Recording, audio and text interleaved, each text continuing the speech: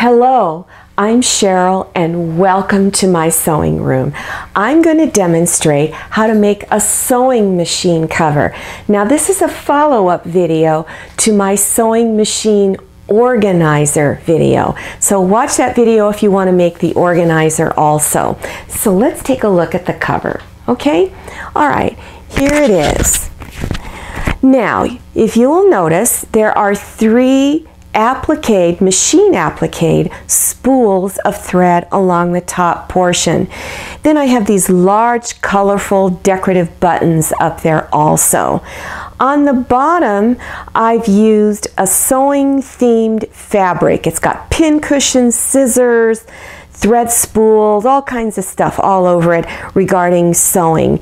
And then the yellow here that I have up on the upper part is also all over the back. So this color is on the back. Then the side top piece here is uh, measuring tape, which was also used on the organizer here. Okay, so this is the organizer. All right, let's go over uh, how to measure your machine because this may not fit your machine. So you're going to need to measure your machine and make adjustments accordingly. Okay, when measuring, you want to measure from the very bottom of the machine to the very top of the machine. That includes any dials or spool holders, whatever is up here. Whatever is the highest point, that's your height. Then you want to add one inch for some seam allowance and a little extra wiggle room, okay? Then to measure the width, measure from the farthest point out on each end. For instance, the farthest point on this side is this bottom piece. But on this side, it's the spool, this here, the dial that you turn for your needle. Okay, then you need to measure the depth from front to back. Make sure you measure both ends because I bet they're not equal. So whichever one is the widest, that is the measurement you would use and then add an inch. So to each measurement, top to bottom, side to side, and front to back, add one inch, one inch for each one. Okay? All right, let's go over to how to put this all together. Here is the drawing for the template to make for your spool. Uh, then also down here it tells you the measurements of fabric to cut to make each spool. So if you have a cell phone, put the video on pause, take a snapshot of this sheet so you know what to make. Or you can just write this all out yourself. And then here are the cutting instructions. Okay, this is page two. Now your finished size for this machine is 18 by 19. Trust me, measure your machine because this cover I made did not fit my machine. My machine was much shorter and much wider and very odd from back to front. So measure your machine. Now you're going to need to cut for the both the top and the front, uh, top front piece and piece and top front bottom piece, there's two pieces for the front, 19 by 8 and a quarter. Then the back is 19 by 16. The side top is 50 by 7 and a half. Now if you don't have fabric that's 50 inches long, then cut two pieces 25 and a half inches, stitch them together and that'll give you a piece long enough. Then for your um, lining, for the front and the back, they're cut the same size, so cut two, 19 by 16. Then the lining for the top side piece, 50 by seven and a half. Cotton batting for the front back is uh, 19 by 16. Cotton batting for the side top, 50 by seven and a half. And your binding strips, Make sure they're two and three quarter inches wide. You're going to need two. If you don't know how to cut your binding strips, watch my video, straight grain binding. And then two more things, four large buttons, and then two-sided fusible webbing to put on the spools of thread. Okay, now let's start putting it together. Let's first put the spools of thread together. Okay, here's my fusible webbing. Now, I'm not going to go into a lot of detail with your fusible webbing. Uh, watch my video, Machine Applique Lesson 1 for details, detailed instructions on how to use fusible webbing. So take your template that you made and make sure you've drawn a line across here and you're going to draw that same line on your fusible webbing. This is important that you put that line on there, okay? So trace three of these on the grid line side of the fusible webbing. Then when you cut it out of your fusible webbing sheet, leave about a fourth of an inch around your lines, okay? Then take the fabric pieces. Now, the two end pieces are the uh, fabrics that represent the top and bottom of the spool. I used kind of a dark beige or pale brown so that it would give the impression that it's wood. Okay, now this fabric in the center is the thread fabric. It's three and a quarter inches this way and three inches this way. Put the two end pieces on this these two ends here, the ones that's going three and a quarter inches. So put that on, okay. Then pin and stitch one eighth of an inch, a very narrow eighth of an inch. Then press it on the right side, excuse me, wrong side. Then open it up and press on the right side. Now, make sure both seams are going towards the center of the spool. That's real important. Don't get this step confused. Okay, then on the wrong side here, take your fusible webbing piece, remove the paper backing. So now you have that tick, stick, uh, sticky side there. Place that sticky side down on the back of your fabric, lining up this line with the stitch line. Place, up, place it on both ends on the stitch line. Now, if it doesn't line up absolutely perfect, don't worry because when you do your applique stitches, it's going to cover up any imperfections you may have. Okay, so finger press it down, then cut out along your trace lines with some scissors. So cut out all three spools. Now, take the fabric that was for the top front, the piece that's going to go on the top front.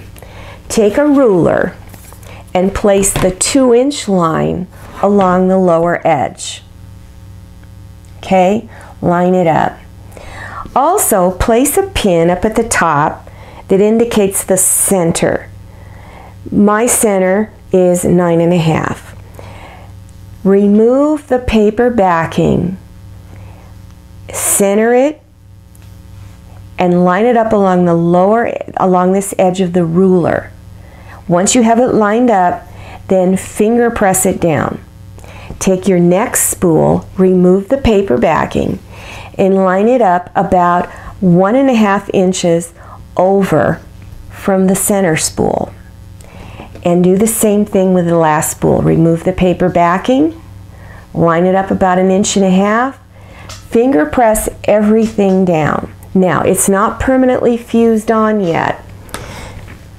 Take a damp cloth, place it over the spools, and set your iron to cotton with steam. Place the iron over it. Now, always follow the instructions on your package because your fusible webbing may be different than mine. Then, uh, give it a burst of steam, hold it for 15 seconds. Do each spool, okay, going across, holding it for 15 seconds. And by the way, do this at your ironing board, not on your cutting table or cutting board. Not a good idea. Okay, once you have it fused on, now it's permanently fused on, you can't take it off. Now do your applique stitches. Put your stabilizer behind whether it's paper or tearaway stabilizer, whichever one you prefer to use. Then do your applique stitches. around all three spools. If you don't have any applique stitches, use a small zigzag stitch. Okay, now take your fabric for the bottom of the front, line it up on that edge there, pin and stitch one quarter inch all the way across. Then press it with your iron, open it up, and press it again on the right side with your iron. Okay, good. Now, all three sections are going to be layered the same. So, whether it's the back, the side, or the front, they're all layered the same. So lay your lining down first, then your cotton batting, and then whatever fabrics you're using for the outside, place that on top. Okay, all three are layered the same. Now you're going to do decorative stitching. Your stitching lines are going to be two inches apart. Okay, so start in the center and you can either you use a straight stitch or a decorative stitch like I have here. Start at the edge, stitch towards that spool. When you get to the spool, do a few stitches back and forth, then lift up and go to the other side of the spool and continue on down to the lower edge. Then come up again over here, go two inches over and stitch again. Keep going over two inches apart, stitching your lines. Then go over to the other side and do the same thing. Then turn it and start on either side of your seam. My seam is underneath this ribbon. And do the same thing. Two inches apart, go to the other side two inches apart. Then take your ribbon and place it over the center seam here. Place it there. Then stitch along the upper edge all the way across and then the lower edge all the way across. Good. Now we've got one more step to do on this front piece. Now, you're going to round your edges, okay? So take something round from your kitchen, a small lid to a jar, and you can either trace around it with a pencil or fabric marker, or if you're brave like me, go around it with your rotary cutter. You're going to do this on both the two upper corners only, and this is what it should look like. Make sure it's a small curve. Don't make it too big. Do this also on your back piece on the two upper corners. Okay? All right, let's move on. Now take your back piece and your side top piece. And you're going to mark the center of each piece. So you're going to fold it in half and put a pin on each side like I've done here. Okay? And then do the same thing for the back. Fold it on each side and you only need to put one pin up at the top, just one at the top. Okay? Then begin pinning the two pieces together, matching these two pins. Pin it all the way around three sides and you're going to need more pins along the curve to hold it nice and flat. Then you're going to stitch 1 4th inch seam from this raw edge along all three sides. Then after that, take your front piece and stitch it onto the other side of this piece, the side top portion, doing the same way. Nothing changes. It's done the same way. All right, now let's go to the bottom. Take your two binding strips, okay? And bring the two ends together. Uh, pin and stitch one quarter inch, then press the seam open. Fold it in half and press the full length of your strips, okay? All right, then begin pinning it down and start uh, somewhere in the center on the back and begin pinning it down all the way around the two, the, all four sides, okay? When you get to where the two ends meet, you're going to overlap by a half an inch. And then you're going to cut the excess off. Then you're going to bring the two ends together and open it up and you're going to bring the right sides together like this okay? Then pin and stitch a quarter of an inch here. Then finger press that seam open and then fold it back and finish pinning it down then stitch 3 eighths of an inch seam allowance all the way around the lower edge, stitching the binding on. Then flip it over to the inside. And you're going to take the folded edge of the binding and bring it past the stitch line.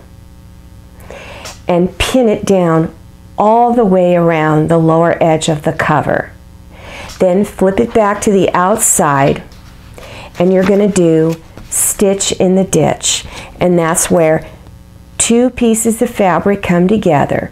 This is the ditch. You're going to stitch right in that ditch. Don't stitch on the binding and on the fabric right here, okay?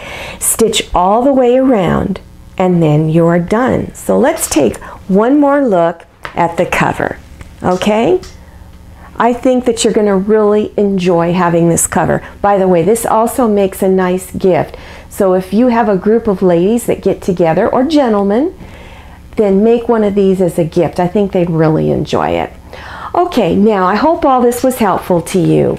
My next video will be how to make Easter holiday table linens. And these are so easy and so quick, you can make them all in a day. So to keep informed on all my future videos, click on one of my subscribe buttons. Down there in that lower right hand corner, there's a red button down there. It says subscribe and then in the upper left corner, you might be seeing towards the end of the video my face in a little circle. That's a subscribe button also. So click on one of those. YouTube will send you, uh, actually YouTube will ask you for your email address. And the next time I have a new video, they send you an email with a big button in the center. You click on it and it takes you directly to my latest video. I'm Sherrill. I'm so glad you came to my sewing room. See you next time and happy sewing.